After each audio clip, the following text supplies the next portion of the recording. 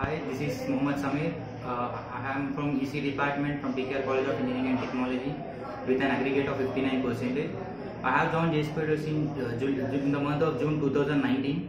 When I have joined JSpiders, I have I don't have any knowledge about the Java. Uh, later on, when I attended the Sunil sir's demo class, I have listened to him and I got interested towards the Java and I joined the JSpiders. Uh, later, when the uh, approaching us, I have this confusion in mind that I have less percentage and how can I be selected in the companies. Whenever I get that, I, will- I have concerned Sunil sir and he just says one word.